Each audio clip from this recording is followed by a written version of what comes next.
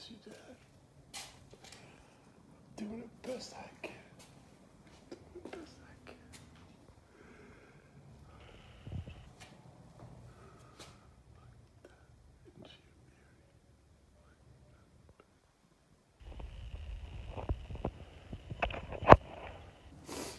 Right about the time the pain in his spine got really bad, uh, he stopped.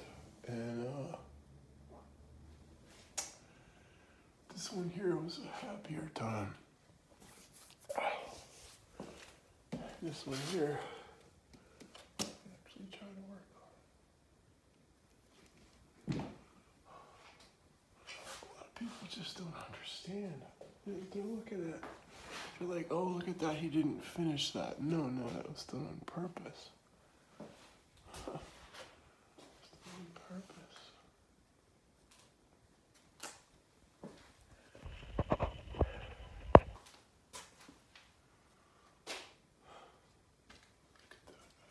Uh, you know, you start looking at it, the more you look at it, the more it comes alive.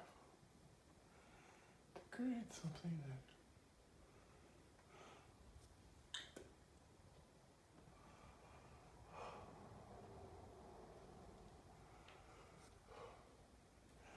This one really reminded my dad of my mom. That's why,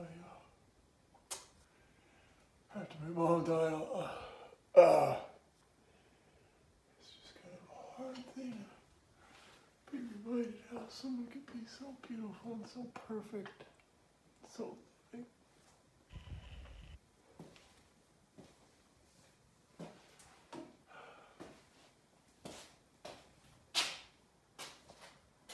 Oh. I hope you enjoy what you see. I'm trying to save my fucking house. Literally. trying to save this.